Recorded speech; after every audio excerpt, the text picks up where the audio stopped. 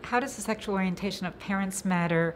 Um, was a title that I chose with my co author Tim Biblarz um, to imply a double meaning?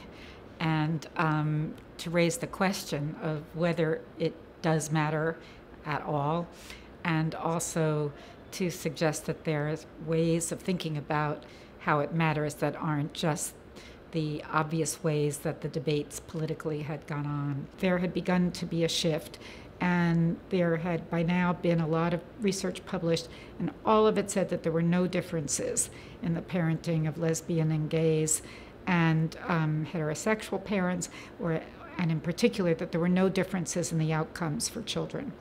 The reason that I became interested is that um, the claim that there were no differences sounded a little bit surprising to me and it also sounded a bit defensive to me. Uh, it accepted too much of the notion that, of course, heterosexual parents would be the best parents.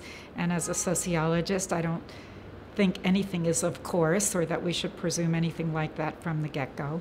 I think that there are two kinds of differences that are likely to um, between children raised by lesbian or lesbian gay parents and um, heterosexual parents the vast majority are very small differences and are a product of what sociologists or social scientists call selection effects.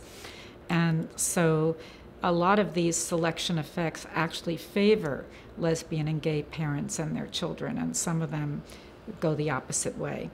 Um, for example, because of the amount of planning that's involved in choosing to be a parent as an out lesbian or gay person or couple, and especially for the men, they're older parents. And they tend to be more educated and with um, greater educational resources. Those are all factors that generally, um, on average, lead to better outcomes for children.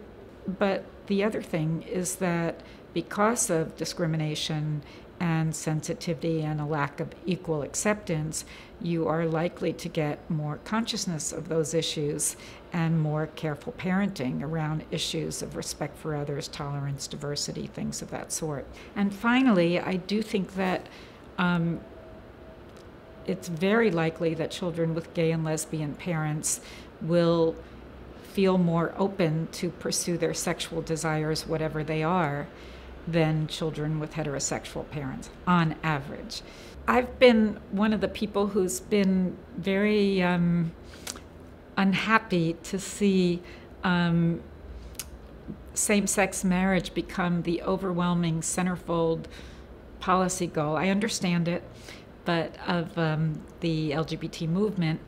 Um, and in particular, I find it a bit um, disturbing and, and irrational that the question of the efficacy of gay parenting should be brought up in the question about legalizing same sex marriage. And so, from my point of view, one of the paradoxical effects of legalizing same sex marriage, which I, of course, support because I wouldn't favor discrimination on grounds of sex orientation, but one of the unfortunate side effects of that will be to increase inequality by class and race.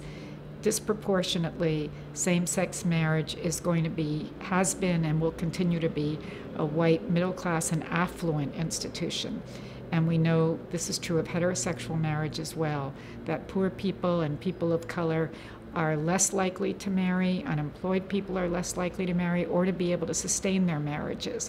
And disproportionately, that means non white people and their children. And so, one of the paradoxical, ironic, unintended effects of one form of equality is to exacerbate another form of inequality.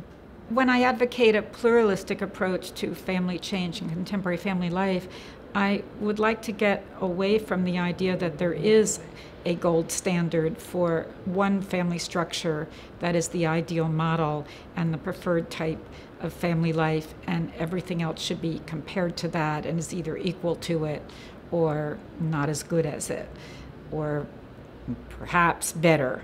But I don't think that's correct either. I really deeply believe that people are different, um, families are different, societies are different, cultures are different we can make judgments about them. In fact, we can probably not avoid making judgments about them. Um, but I, I firmly believe that there is not a single best one that would be good for everyone.